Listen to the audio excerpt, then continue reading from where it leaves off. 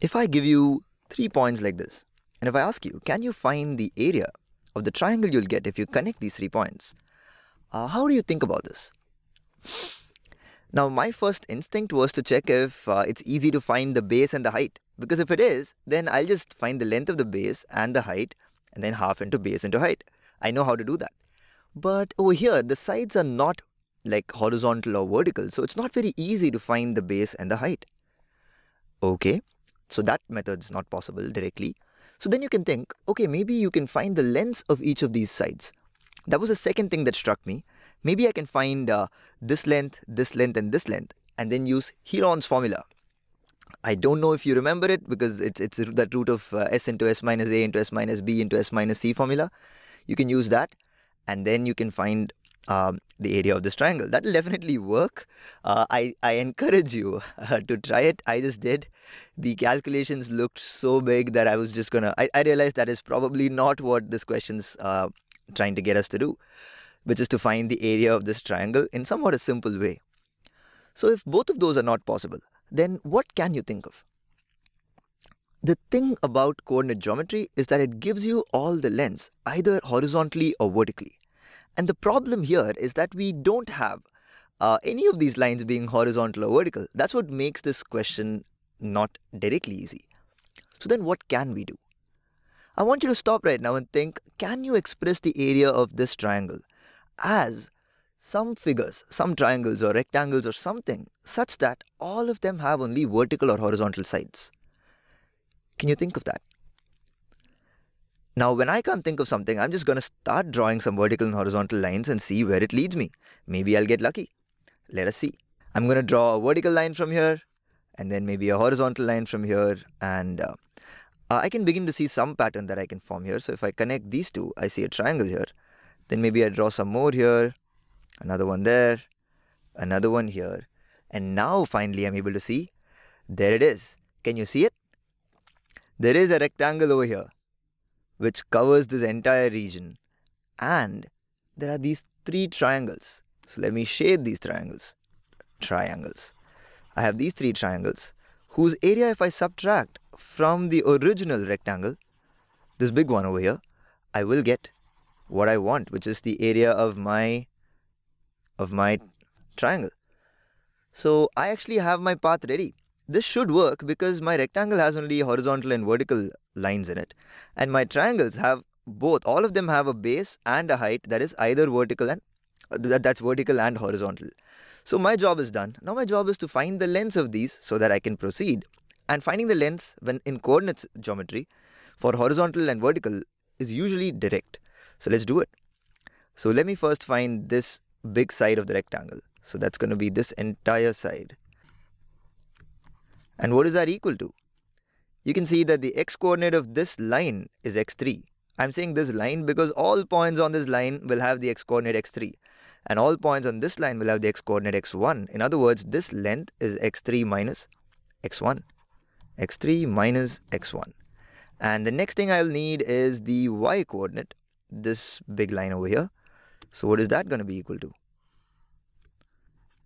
Similar story, y2 minus y1 y2 minus y1 all the points over here have the y coordinate y2 all the points here have the y coordinate y1 you can do something similar. It's a similar story for all of these other sides we need.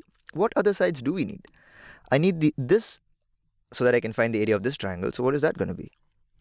That's going to be equal to x3 minus x2 x3 minus x2 this one here i will need that is x2 minus x1, x2 minus x1.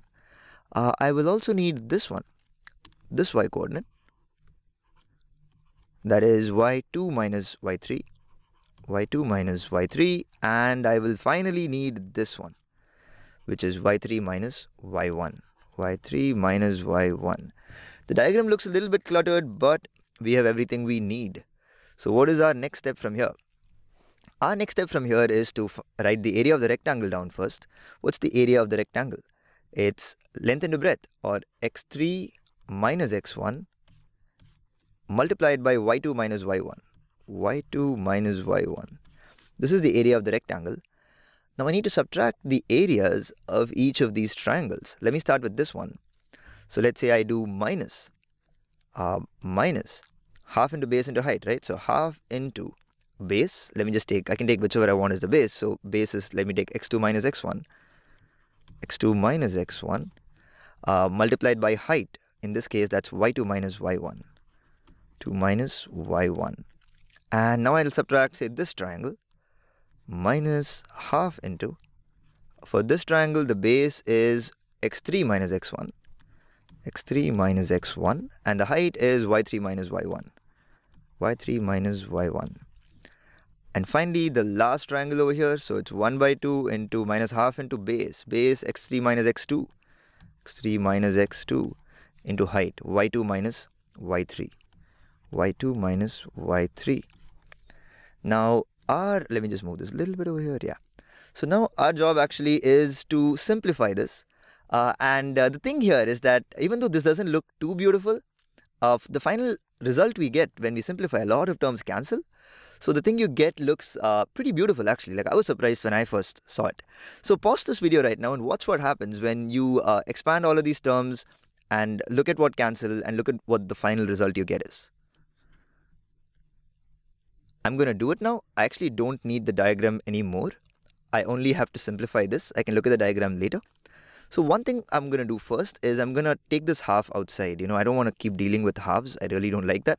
So I'm going to take the half outside. So I know my answer is going to have a half outside, which means that I can now start simplifying each of these. I'm going to do it in uh, each of these in one one line and then let's look at what we get. So I'm going to put a 2 over here so that I've I've forgotten these halves and I added a 2 over here. I know I'll have a half outside. So what is this going to be? Now the way I like to think about such things is uh, I get very confused when I do uh, signs and this 2 and all that. So I'll first look at the terms, then I'll add the signs. So I'm going to have x3, uh, y2, x3, y2, uh, x3, y1, x1, y2, and x1, y1. I know these are going to be my four terms. Now I can figure out my uh, uh, signs. So all of them are going to have a 2. So I know that all of them are going to have a 2. And I know that um, the middle two terms are going to be negative because uh, it's, it's a minus b, right? And these two are going to be positive. So 2x3 y2 minus, minus, and finally a plus. So then I'm going to do this. Similarly, I'm going to say x2 y2 is going to be the first term, x2 y1 is the second term, x1 y2 is the third term, x1 y1 is the last term. Now I'll figure out the signs. Uh, there's a negative outside. Oh, I hate, hate it when that happens. That that's the that's where I make most mistakes. So what I'm going to do is I'm going to add negative here. Uh, this would have been negative, so this is positive here, positive here, and negative here. Uh, I'm going to keep the same pattern going so that I know it's going to be minus, plus, plus, minus. So I don't have to think about it at all. Think about it at all. That's what I wanted to say. So x3, y3, x1, uh, let, let me, x3, y1, x3, y1, x1, y3 and x1, y1. There it is. And uh, again, it's going to be minus, plus, plus, minus. Similar story here, x3, y2, x2, uh, sorry, x3, y3, x3, y3, uh, x2, y2, and x2, y3. Need to move this a little bit so that we can see that. Yeah, x2, y3. And again, it's minus, plus, plus, minus. Now our job is to start cancelling out because we know something's going to cancel out. This, this expression is really large. So um, we've seen that the final expression is actually quite smaller than this. So let me first see x3, y2. Can I find x3, y2s here? I can find 1 here. So this 2 goes away and this entire expression goes away. Uh, x3, y1, x, I can see 1 over here. So this goes away and this 2 goes away. x1, y2, uh, I can see plus over here. This is minus, so this one goes away. Uh, plus 2 x1, y1, I can find 1 x1, y1 over here. And uh, I can actually find one more x1, y1 over here. So, oh, this entire thing goes away. I like it when things start getting cancelled like this. Let me see if there's anything else. x2, y2. x2, y2. Okay, I can see 1 here and a positive 1 over here. x2, y1. I can't see anything. x3, y3. I can see 1 over here. this goes. So finally, it looks like nothing else will go. So how many terms do I have? One, two, three, four, five, and six.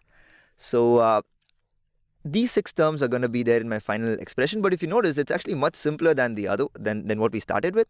So I'm going to start writing this expression now. So uh, I'm going to take the x as common because I can see that there is an x3, y2 here, x3, y1 and so on. So x1, y3 is there, x1, y2 is there. So I can take x1 common and write it. x1 into so it's not like uh, there's a big reason I'm doing it. It's just that uh, I find that the final expression looks more beautiful when we do it like this. So x1 into what? y3 minus y2. y3 minus y2. Now what is the next one? I'll take x2 common out over here. And then I'll have uh, if I take x2 common, I'll get x2 y1 minus, ah, it's here, uh, minus y3. So y1 minus y3, y1 minus y3 uh, plus, I'll take x3 common now, and I will get y2 minus, y2 minus, oh, it's here, y2 minus y1, y2 minus y1. And there we have it. Now, I don't know about you, when I see this, I'm amazed that uh, what we're getting here is so much simpler compared to like what we get when we do the Heron's formula or any of those things. It's basically just the first coordinate, one of the x coordinates, the difference of the other two, plus the second one, 1 minus 3, the difference of the other two, the third one, 2 minus 1. So this is your expression and uh, notice that you may sometimes get a negative value for this entire expression. But the area of a triangle can't be a negative. So what we do is we take the absolute value. You'll calculate this entire thing and take the absolute value. So why you get the negative is that the order in which we, you choose the points may sometimes be different. So you'll get a negative value. So take the modulus or the absolute value of that to find the area. And in the case where the three points that you've chosen don't even form a triangle, they form a straight line, the three points are collinear we say, there you'll get this value to be 0. So getting 0 for this means that the three points are collinear.